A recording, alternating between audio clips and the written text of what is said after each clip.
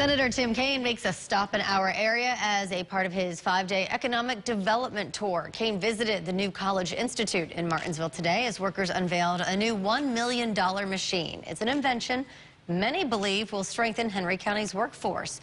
Duke Carter explains how the project has already helped one man find a long-term career.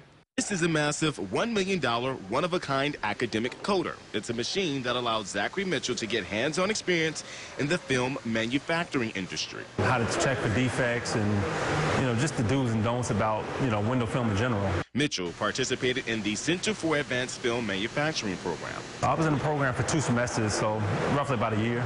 He's one of 12 students who learned how to coat and laminate products like windows, which led to a manufacturing job in Martinsville. It's, it's been good since.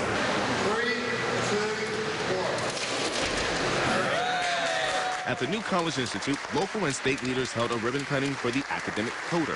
Senator Tim Kaine attended and watched a brief demonstration how the academic coater worked. Uh, we have softer defects. Kaine, who's touring the Commonwealth as part of his economic development tour, feels the machine could generate more jobs in Henry County.